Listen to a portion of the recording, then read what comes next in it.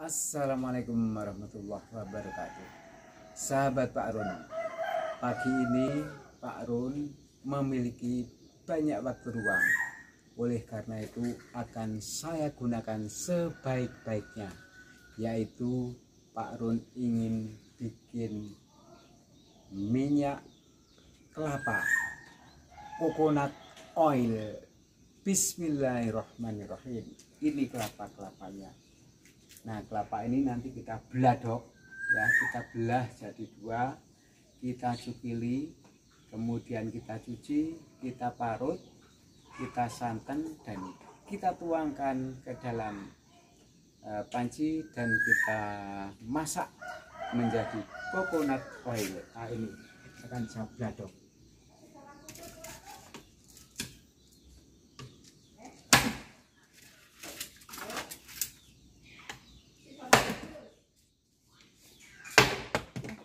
ternyata beladok krambil itu sulit.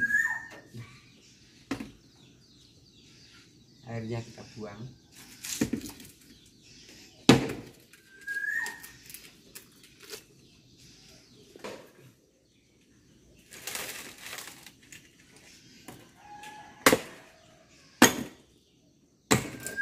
Nah ini kelapanya.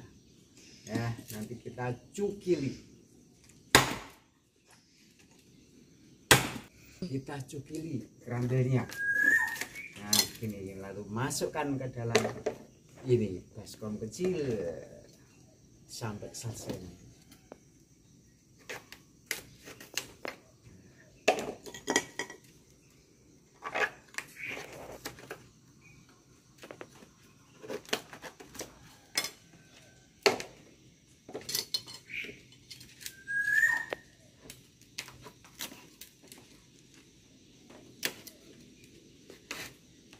Wih, ternyata susah menyetel kelapa itu ya.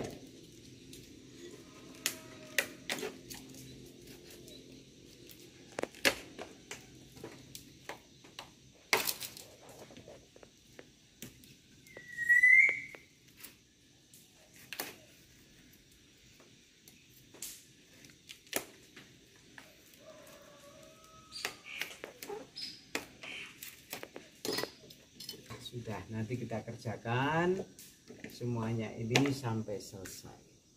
Kita cuci lalu kita parut. Ya. Kita cuci kita parut. Nah ini saja sebagai sampelnya. Sudah. Nah ini kita cuci bersih. Ya kita cuci bersih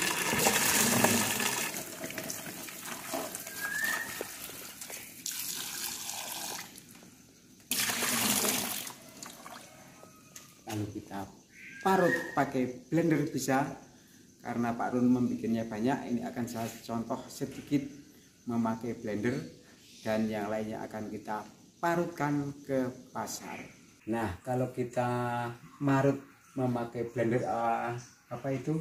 Membuat santan pakai blender maka ini harus dikecilkan ya.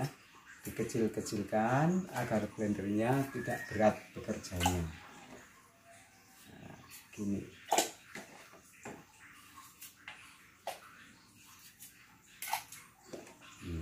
ya. Kita blender.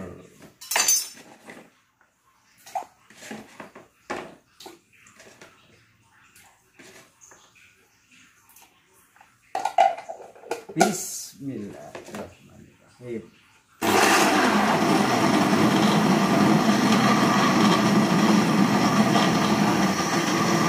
Selanjutnya santan ini kita tuang kita lepas kita tuang di sini. Dan kita ambil santannya. Nah ini kan sampai habis santannya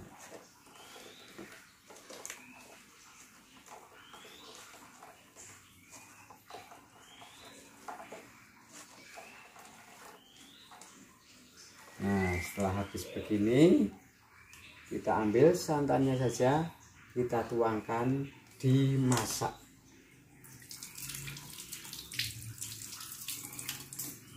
Ya, santan kita masukkan ke dalam panci ini ya. tadi itu sebagiannya sudah saya masak dulu ya nah ini kita lanjutkan bisa ditambahkan ini ini memakan waktu yang lama dan perlu diaduk-aduk terus ya perlu nanti menjadi uh, coconut oil atau minyak kelapa. Ya.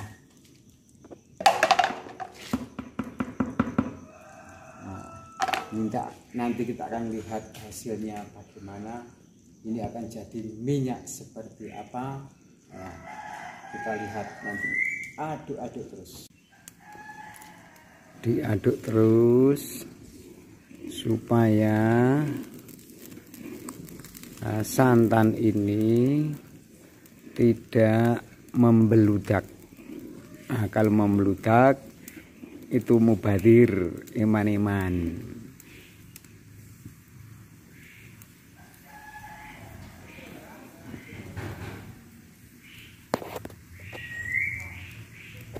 Nah ini minyak. Ini sudah setengah jadi. Kita tunggu sambil nanti diaduk-aduk ya. Dikasih jeda untuk mengaduknya tidak masalah. Yang penting tidak ada kerak di bawah uh, santan yang sudah akan matang ini. Nanti kita aduk-aduk. Nah begini cukup lama uh, Pak Run ini tinggal di desa lumayan sambil untuk gegeni ya. Uh, awak menjadi keringetan sehat. Nah ini minyaknya sudah mulai keluar sudah banyak ya. Oleh karena itu api cukup memakai baranya saja. Dan kalau ada apinya ya kecil agar uh, minyak tidak muncrat-muncrat ya. Kalau muncrat-muncrat nanti mengurangi banyak sedikitnya minyak. Nah begini. Cukup pakai bara api kecil saja. Sambil terus diaduk-aduk begini ya. Terus diaduk sampai nanti menjadi minyak. Nah, kasih jeda mengaduknya nggak apa-apa. Prinsip tidak mengerak di bawah. Nah, ini cukup menggunakan bara dari batok kelapanya itu dan tepesnya. Nah, api sedang dan ini sudah bisa mulai kita ambil minyaknya. Ya dicicil mengambilnya. Tidak harus semuanya jadi bersamaan. Bisa. Nah, ini, itu yang putih-putih. Itu belum menjadi akan tapi yang bening-bening itu sudah uh, menjadi minyak.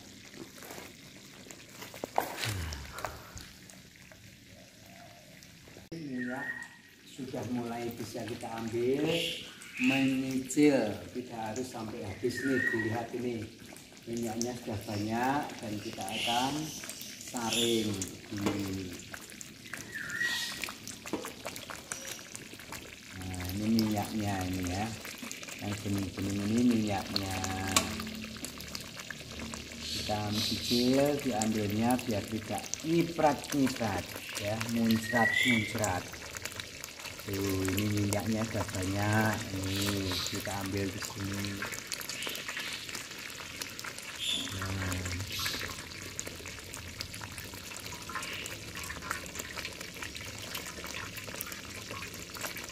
nah begini terus nanti kita ambil terus minyak-minyak ini. Dan ini sisanya kembalikan lagi ke sini. Nah ini minyaknya bening itu beningnya bening gitu ya. Tuh minyaknya. Hmm. nah kita aduk-aduk terus begini ya agar tidak teraket di bawahnya sampai nanti habis. Ini sisa belindunya dan menjadi minyak saja seperti ini. Nah ini minyaknya kita saring di sini lagi terus ya diambili. Nah, nah begitu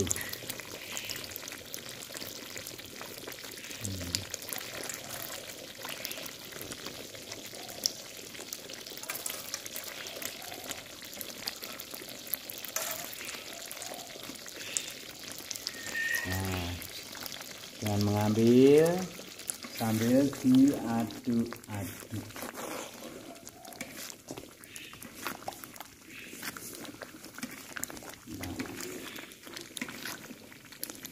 Nah, ini kita miringkan biar eh, ngambilnya minyak itu mudah. Ngaduknya juga mudah. Minyaknya nanti akan menepi di sini. Nah, ini menepi di sini minyaknya ini. Nah, tinggal pilihkan saja. Nah, kepenak ya.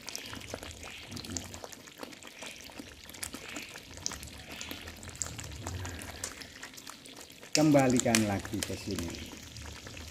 Yang belum jadi minyak.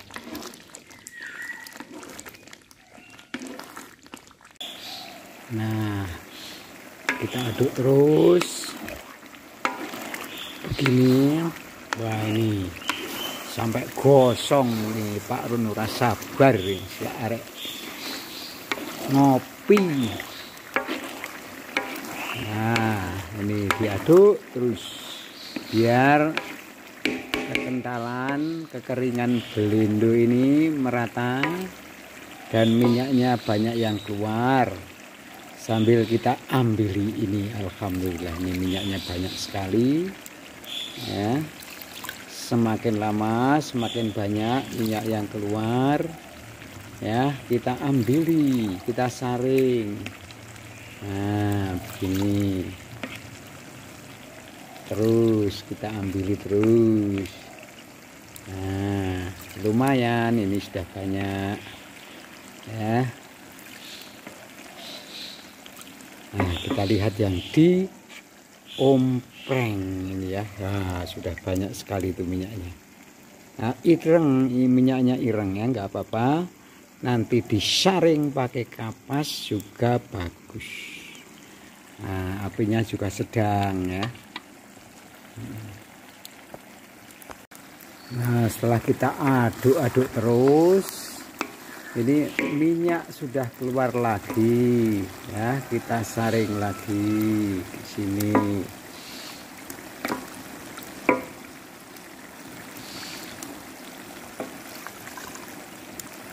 Ah, Alhamdulillah minyaknya banyak sekali. Nah setelah ini nanti habis kita aduk lagi. Nah, akan keluar lagi minyaknya. Mudah cara membuat coconut oil. Itu bledonya sudah ireng-ireng.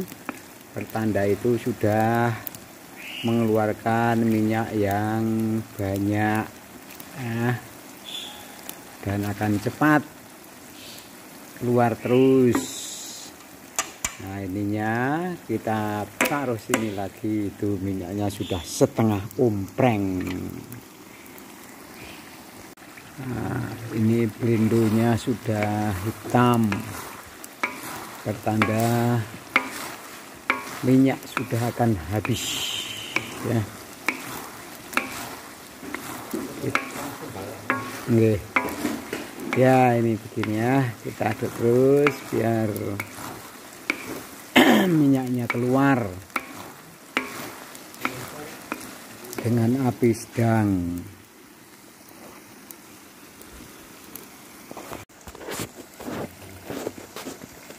Wih, minyaknya keluar lagi nih. Kita ambili.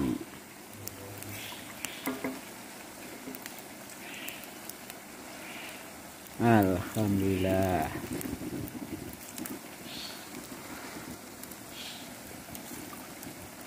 Blendonya sudah mulai mengkristal. Kalau sudah lama kita rebus begini. tuh sudah kristal kristal ini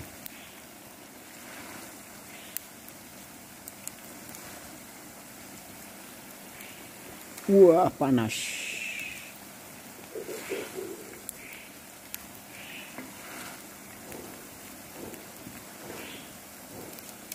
nah tuh bisa banyak kita aduk lagi itu ya. Nanti keluar lagi minyaknya aduh masya Allah ini malah kobong sampai bolong ini wajahnya ini. Wah ini. Wah bagaimana ini mengatasinya? Ya kita taruh di sini. Ah sisa-sisa sedikit minyaknya ya. Tapi alhamdulillah sudah dapat minyak banyak. Kita entas nanti tidak kebakaran ya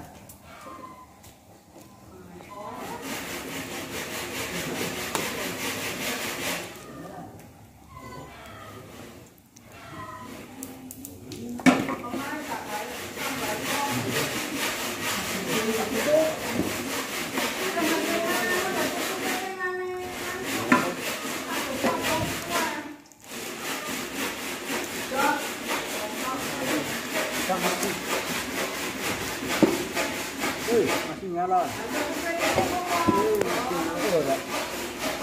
Nah, ini kobongan alhamdulillah konangan tak tinggal ke belakang.